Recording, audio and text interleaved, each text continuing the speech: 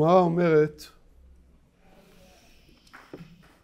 סימנה מילתה היא.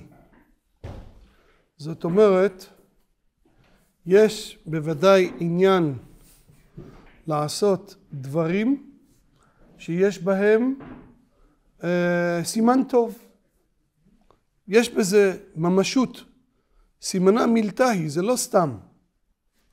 ולכן אומרת הגמרא שבזמנם כשהיו מושכים את המלך היו לוקחים אותו ליד המעיין כדי שתימשך מלכותו כמעיין. ואז אומרת הגמרא לאור הדברים הללו שראש השנה יהא אדם, מכיוון שסימנה מילתה היא, יהא אדם רגיל לאכול, הגמרא מונה חמישה דברים שנסביר תכף. אבל אנחנו רואים קודם כל פה יסוד גדול לגבי ראש השנה. הגמרא אומרת בפירוש שיש עניין לעשות דברים של סימן טוב בראש השנה, זאת אומרת שהדברים הללו של סימן טוב, מילתה היא, זאת אומרת יש לזה חשיבות, שזה יכול להשפיע על כל השנה. ומזה נגזר כל מיני מנהגים מיוחדים של כלל ישראל לעשות דברים לראש השנה, דברים מיוחדים, וכמובן מאידך להימנע מדברים שהם לכאורה לא טובים, כדי שזה לא ישפיע על כל השנה. עכשיו, הגמרא מביאה לאכול חמישה דברים. הגמרא מביאה רוביה, קרטי, סילקה, תמרה, קרה. חמישה דברים.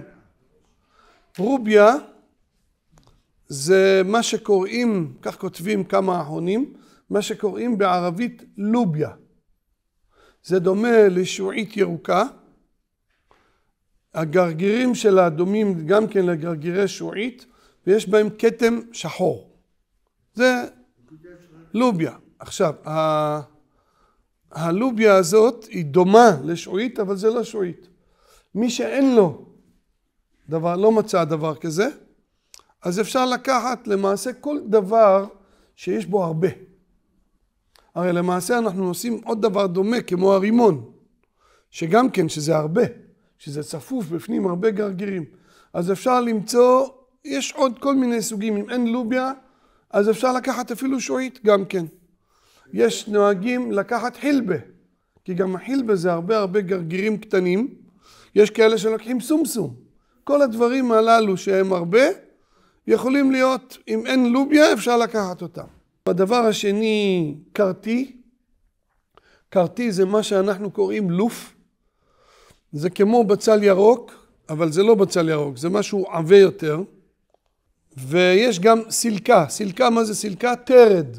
השנה, כשכל אחד שלוקח את הקרטי ואת הסילקה, יכוון חזק בכל כוחו על כל שונאי הדת שיש כאן. שהקדוש ברוך הוא יסלק אותם מאיתנו, שנתפטר מהם. והתמרים, לכוון חזק, שיתמו אויבינו ושונאינו וכל מבקשי רעתנו. לצערנו הם מתנהגים אלינו ממש בשנאה, ממש כמו אויבים. הם יהודים והם מתנהגים אלינו כמו אויבים. צריך להתפלל אל הקדוש ברוך הוא בראש השנה כשאנחנו עושים את הדברים האלו, ובעזרת השם וגבר ישראל אנחנו ננצח אותם בסופו של דבר. אז אמרנו אם כן, לוביה, כרטיס, סילקה, תמרה, תמרים. הדבר החמישי האחרון, קרה. קרה זה דלעת. דלעת, כן. עכשיו אלה החמישה דברים שנזכרים בגמרא. מרן השולחן ערוך מביא מנהג נוסף לאכול ראש כסף, כבש ולומר שנהיה לראש ולא לזנב ונוהגים להגיד וזה זכר לאלוה של יצחק אבינו עליו השלום, בנו של אברהם אבינו עליו השלום. יש אומרים שהעקדה הייתה בראש השנה. לכן גם כן אנחנו קוראים את פרשת העקדה בראש השנה. אבל אמ, כמובן גם בזה צריך לבדוק את הכשרות של הראש כבש, כיוון שיש כל כך הרבה אנשים שרוצים, אז שוחטים הרבה הרבה. אני לא יודע, צריך לבדוק שבאמת בגלל ששוחטים הרבה, שזה לא חלילה יהיה על חשבון האיכות של הכשרות. וגם בזה שוב, אין חובה, ראש כבש דווקא.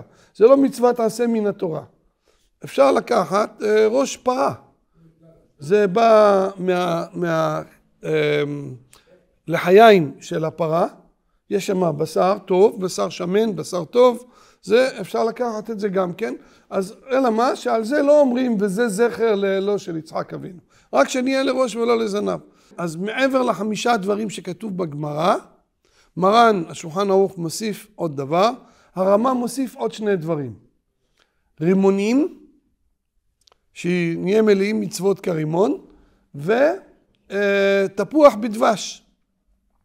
תפוח בדבש. האשכנזים כולם נוהגים לאכול תפוח בדבש. הפוסקים הספרדים מזכירים למשל, כותבים פירות מבושלים בסוכר. סוכר ודבש.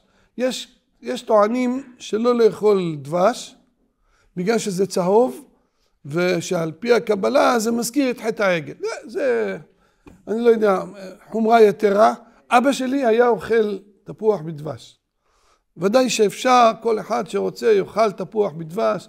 אין בזה שום, לא רק שאין בזה שום בעיה, למה לא? בפרט שאתם יודעים, בשביל הילדים הקטנים, מכל הדברים, תפוח בדבש זה בשבילם גאולת הכותרת. אז תן להם ליהנות מזה, למה לא?